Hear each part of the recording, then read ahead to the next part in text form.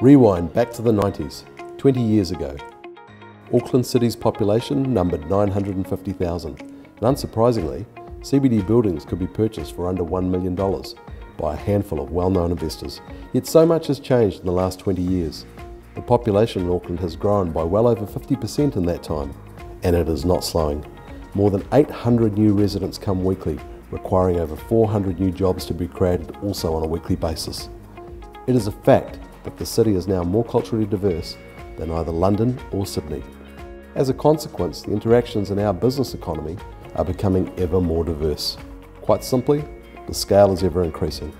In 25 years' time, another 1 million people will reside in our city. Who better to meet this challenge, comprehend and cover the new diversity and scale in the commercial property market than the biggest agency in Auckland, Barfoot and Thompson.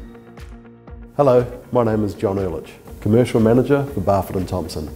With over 2,200 agents working for you, no other brand can assure you the coverage and linkages across multicultural Auckland like we can. We have three dedicated commercial sales and leasing offices across Auckland, from North Shore to the city and a newly established operation in Highbrook in South Auckland. We employ active teams across each and every locality across Auckland. Whether you require sales and leasing of industrial, commercial or retail property, or indeed you're looking for investment property, we really look forward to engaging with you. Barfoot and Thompson have an irrefutable competitive advantage.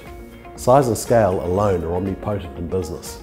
And when you couple that with our dedication to customer service, which we place as the highest of priorities, you'll soon see that we have a brand you can trust.